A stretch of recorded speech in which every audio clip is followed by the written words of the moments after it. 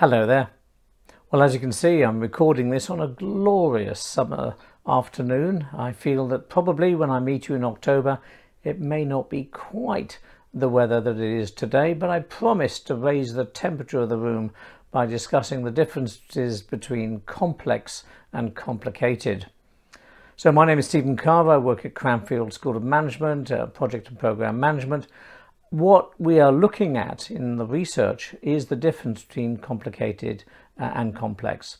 And what we found already is that most organisations don't know the difference between the two, and worse still, they fail to manage complex projects in the way that they ought to. Cutting to the quick, uh, we're going to look at three types of complexity and the research shows that 80% of all your problems will come from one of those types of complexity and yet the research also shows that 80% of companies virtually ignore that component of complexity. So I very much look forward to seeing you in October uh, and debating and discussing the differences between complex and complicated. And uh, hey, if it's not sunshine, may it just be gentle rain. I look forward to it. Thank you.